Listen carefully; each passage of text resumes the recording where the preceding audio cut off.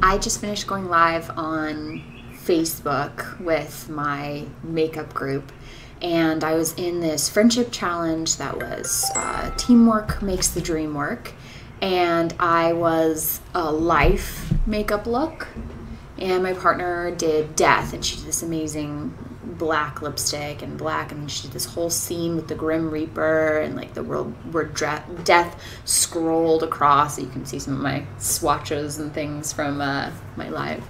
But it was it was so much fun. And i'm really loving like just being me recently. And i hope that everyone feels this way. Um, I just wanted to take some time to talk about something that hits really close to home right now. And, you know, my husband is not deployed. So this is not like that. It's, I'm not actively worried that he's going to be hurt or scared because I haven't heard from him, anything like that.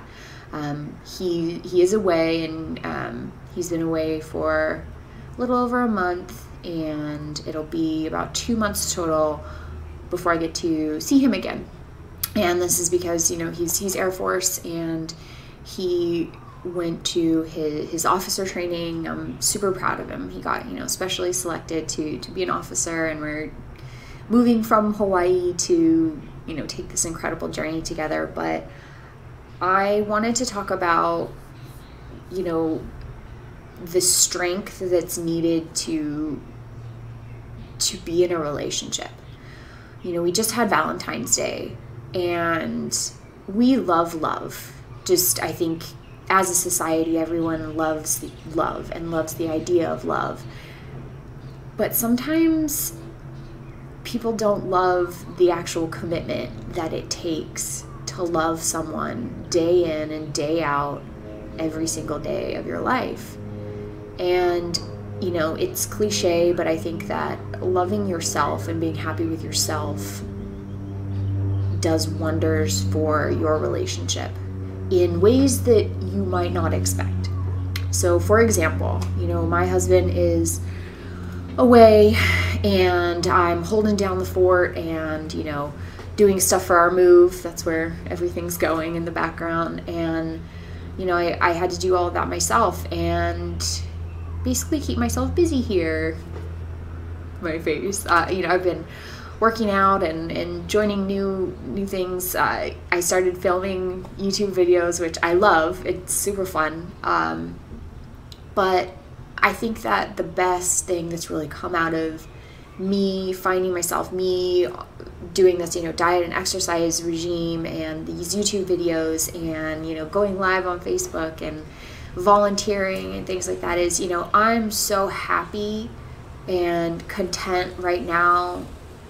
Don't get me wrong, I love him and I wish he were here, but I'm okay and I'm strong. And me being strong allows him to focus on what he needs to focus on right now because he doesn't have to worry about me. And that's my line of thinking is like, you know, I'm going to be strong and take care of myself and love myself so he can love me more. And the things that sometimes seem selfish are actually for those that we love. So take care of yourself too. You know, maybe you're putting in really long days and doing things that aren't necessarily something that your partner needs. You know, what what are your love languages from, you know, those five love languages, does your partner even react to and feel loved from gifts? Do they feel love from time and attention, um, from words of affirmation? Like what what is it your partner needs? And you know, love them like that. Uh, something else I wanted to talk about is communication and you know, I was just talking to a coworker about this who was having problems with another coworker.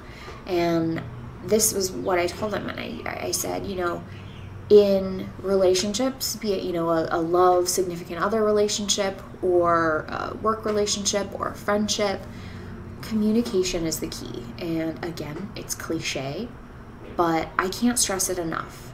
And I'm not saying, you know, say everything that you want all the time. No. The way you communicate is key. Make sure that when you're talking to someone, you are actually listening to them to understand what they are saying, to understand what they are feeling, and take that and go forward. Not listening to respond and get angry at the person. It's not helping you, it's not helping them.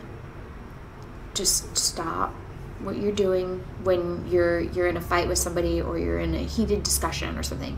Stop. Listen to that person. What are they saying? What are they they needing from you? You know, maybe you think that the way that they feel is stupid. Maybe you don't understand why they feel that way. It doesn't matter. That's how they feel, and you don't get to choose how they feel. You just have to, at some point, say, okay, I I don't really get it, but since you feel that way, how can we move on from here? How how can we, you know, make this better? And I think that the second that I started really having adult relationships was when I started effectively communicating and fighting fair and making sure that the words that were coming out of my mouth was something that I meant, not something that I said in the moment that I can't take back.